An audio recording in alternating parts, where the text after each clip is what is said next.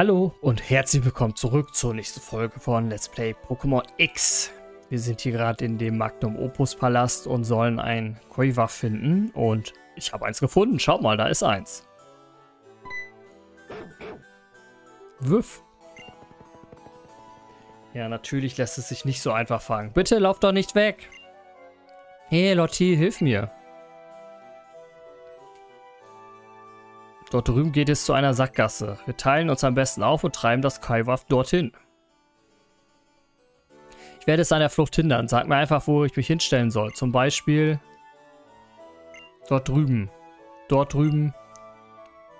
Sag mir Bescheid, wenn du weißt, wo ich mich hinstellen soll. Zu zweit sollte es kein Problem sein, dieses kleine Rätsel zu lösen und das Keuwaf zu erwischen.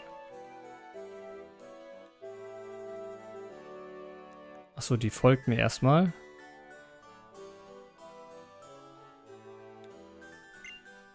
Wo soll ich warten? Hier? Soll ich hier stehen? Ja, bleib da mal stehen. Verstanden?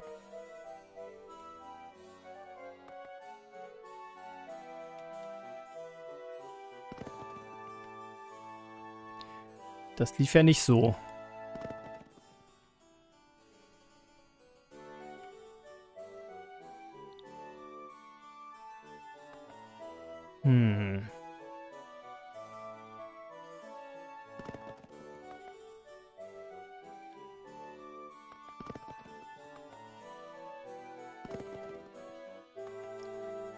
Egal was wir machen.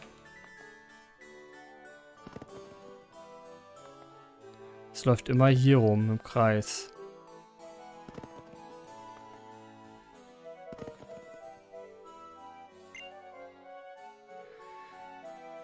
Ja, danke.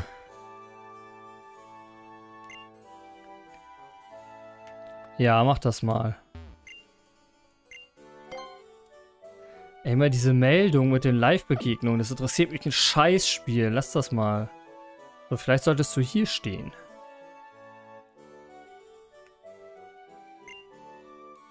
Ja.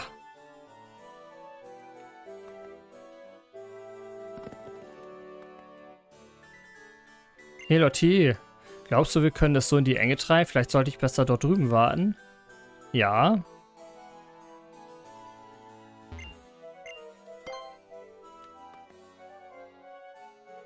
zwar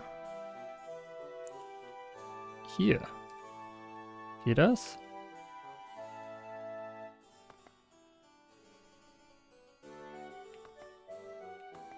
So, sie kann nur auf diesen größeren Plätzen stehen. Gut, dann bleib mal da. Dann renne ich jetzt hier oben rum. Aha. Puh, gut gemacht. Endlich haben wir es. Du bist echt toll, Lotti. Weil du die Gefühle von Pokémon verstehst, konntest du es einfangen. Oh, Keuwaff, mein geliebtes Keuwaff. Käufwaff. Seid ihr die beiden, die mein geliebtes Käufwaff und mich wieder vereint haben? Ausgezeichnet, wirklich wundervoll. Das verlangt nach einem Feuerwerk. Wir lassen es richtig knallen. Und mein Pokémon und ich sind wieder vereint. Unsere gegenseitige Zuneigung ist unbestreitbar. Dieses Ereignis muss mit einem prächtigen Feuerwerk gewürdigt werden. Und es soll auch ein Dankeschön für eure, wenn auch nicht allzu große Mühen sein. Also begebt euch zum Balkon. Habt ihr verstanden? Zum Balkon. Dorthin gelangt ihr über den Gang mit den Spiegeln in der ersten Etage. Vielleicht wäre es besser für das Käufwaff, wenn wir es nicht gefunden hätten. Wenn ich ein Pokémon wäre, würde ich so jemanden nicht als Trainer haben wollen. Naja, immerhin bekommen wir so ein Feuerwerk zu sehen. Genießen wir es. Ja, lässt sich streiten, ne?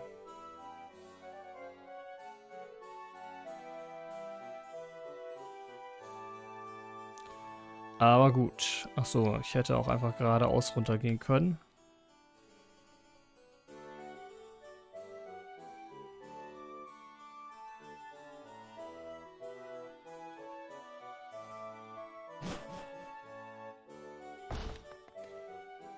So, auf zum Balkon. Ich hoffe, wir erfahren ein bisschen was, was uns in der Story weiterbringt.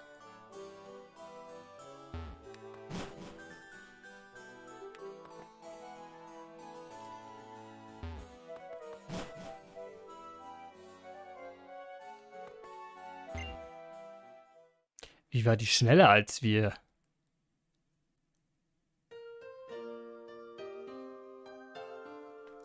Ähm, weißt du, das ist das erste Mal, dass ich mir mit einem Jungen zusammen ein Feuerwerk ansehe. Oh.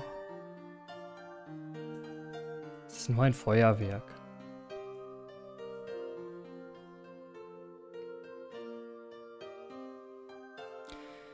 Das Feuerwerk, das wir gleich sehen werden, das werde ich mein Leben lang nicht vergessen, weil ich es zusammen mit dir gesehen habe, Toxi.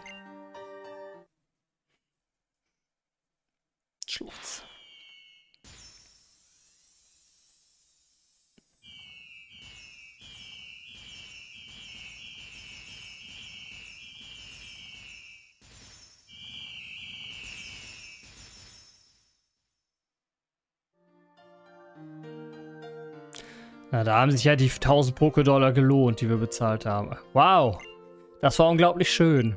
Ich werde diese wunderbare Erinnerung für immer in meinem Herzen tragen. Das war das fabelhafte Feuerwerk zu Ehren meines Käufwaff. Reicht euch das als Belohnung? Oh! Da war ja da war doch noch was. Die Pokeflöte. Genau, wir brauchen die Flöte, um Relaxo aufzuwecken. Ach ja, die Pokeflöte also. Hol sie bitte. Sie war einst der Schatz von Chateau Tristesse, bis ich sie als, Sicher äh, bis ich sie als Sicherheit für ein Darlehen erhielt. Arm und Reich passen wohl nicht zusammen. Gib sie ihnen. Hier, hier, hier habt ihr die Pokeflöte.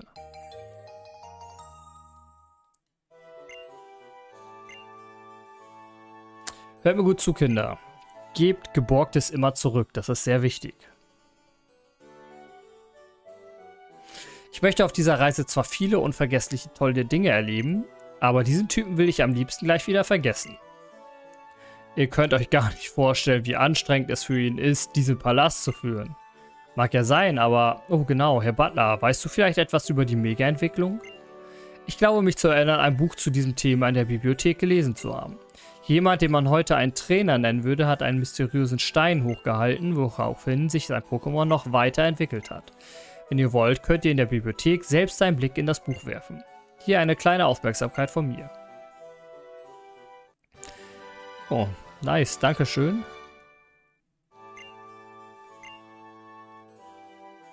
Die Attacke Schutzschild schützt den Anwender vor gegnerischen Angriffen. Bei wiederholten Einsatz steigt jedoch die Wahrscheinlichkeit, dass sie fehlschlägt. Wenn ihr, mir jetzt bitte, wenn ihr mich jetzt bitte entschuldigen würdet. Wer hätte gedacht, dass der Besitzer von Chateau Tristesse und dieser Typ mal befreundet waren? Ich ja nicht. Wir müssen ihm unbedingt die Flöte zurückgeben, nachdem wir damit Relaxo aufgeweckt haben.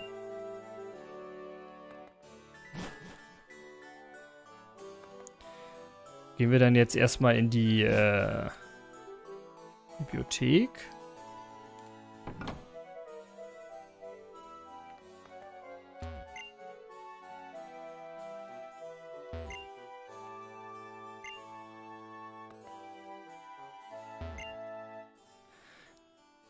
Der rätselhafte Stein und Pokémon, die ihre Gestalt ändern.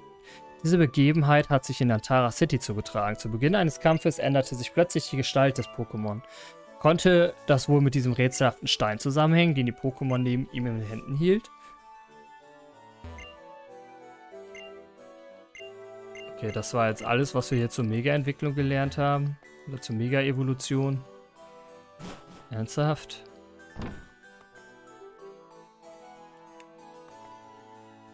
Ja, wow.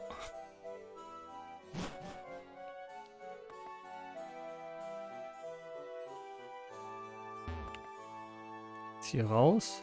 Nein. Jetzt hier raus? Ja.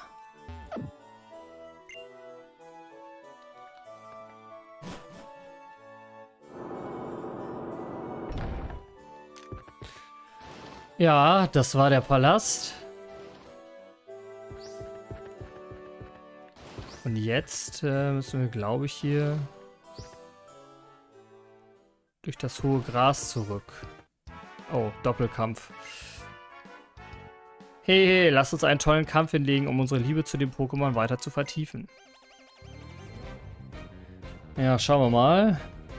Lass mich raten, was die für Pokémon haben. Oh. Das kommt jetzt unerwartet.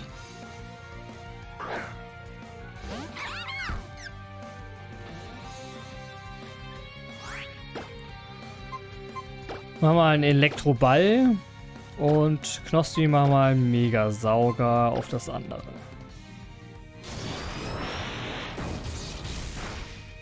Gut, das war nicht so gut.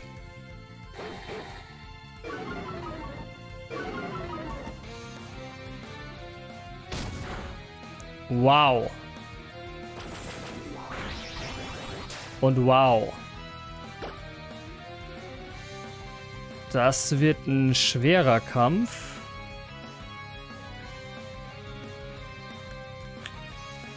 Hm, was tun?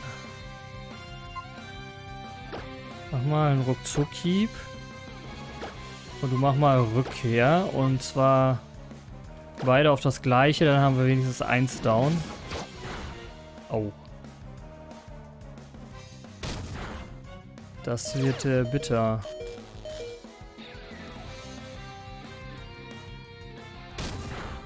Ja, schade, Pikachu. Wie übel ist das denn hier, bitte? Was sind denn das für Kack-Pokémon? Dann komm, dann hauen wir jetzt hier voll auf Kacke. Nochmal eine Drachenwut.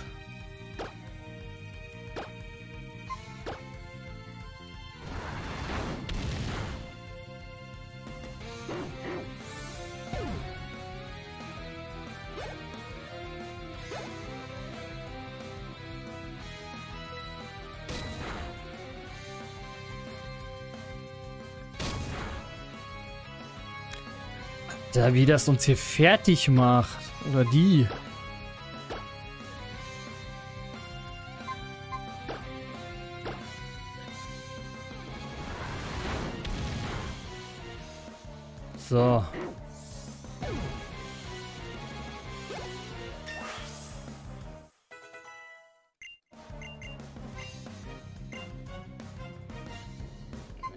Äh, die Masse brauchen wir nicht.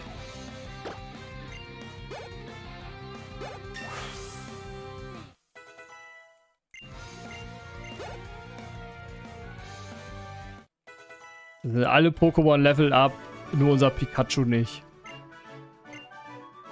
Aber immerhin haben wir viel Geld bekommen, wegen... Eben wegen Pikachu. So, jetzt gehe ich nochmal zurück in den Palast. Und leg mich da nochmal in besagtes Bett, wenn das geht. Da konnte man ja seine Pokémon heilen, ne? Das ist die Frage, wo war denn nochmal dieses Bett? War das hier? Nein. War das hier? Nein.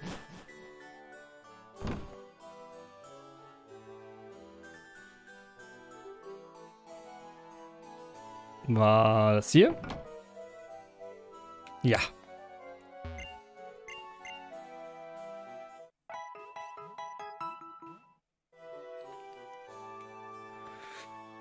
Nun gut.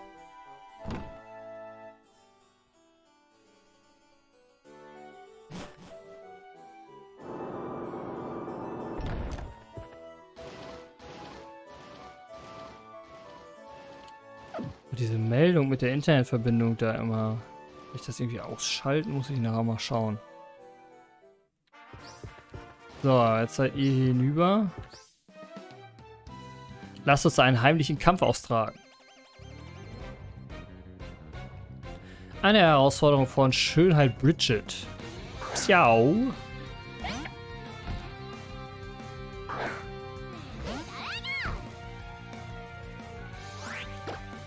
Haben wir einen Elektroball.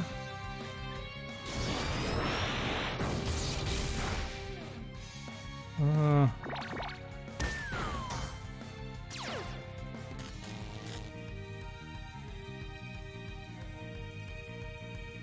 Hey, gib mir das sofort zurück, das Münzamulett.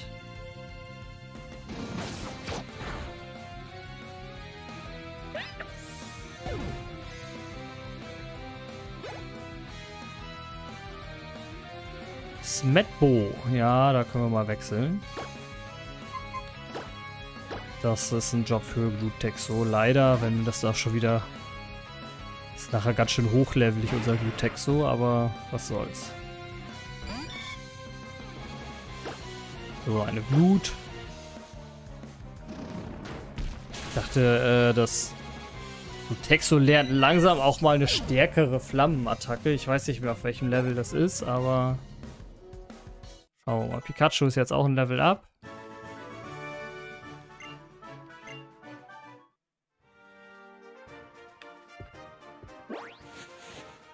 Oh, jetzt sind wir hier runtergefallen. Äh, vielleicht sollte ich mir da im Guide eine, quasi eine Map holen, wie man am besten durch diesen Garten kommt.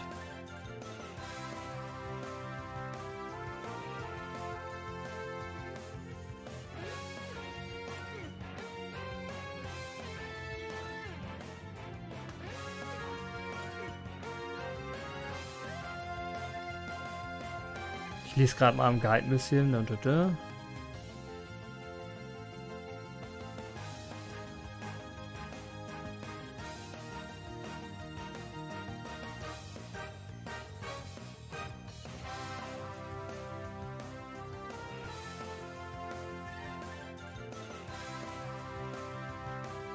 Okay, okay. Also wir finden hier viele, viele Items. Und viele, viele Trainer. Ich bin am überlegen, ob ich quasi das zwischen den Folgen mache. Einfach damit das nicht so ewig dauert.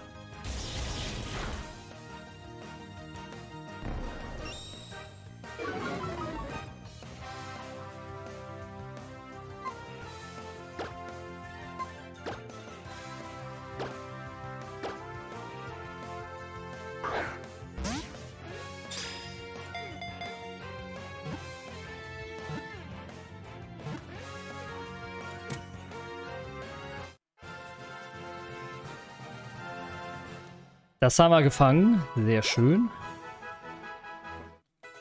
Amphizell ist auch schon direkt wieder ein Level up. Damit die starken Psychokräfte dieses Pokémon nicht unkontrolliert nach außen dringen, ist das Organ, das diese freisetzt, von seinen Ohren bedeckt. Nee. Okay. Ähm,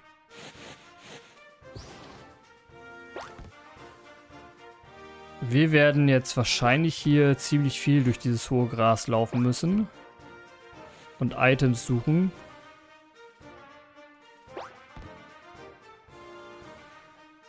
Ähm, ich überlege aber, wie eben schon gesagt, ob ich das zwischen den Folgen mache und euch dann einfach quasi am Ende der Route wieder treffe zur nächsten Folge ich glaube, das ist auf jeden Fall die bessere Variante. Bevor wir jetzt hier ewig im hohen Gras rumstreifen, würde ich sagen, machen wir das so. Dann würde ich jetzt sagen, beenden wir die Folge an dieser Stelle. Äh, ich wünsche euch noch einen wunderschönen Tag. Wir sehen uns zur nächsten Folge wieder und auf bald. Ciao.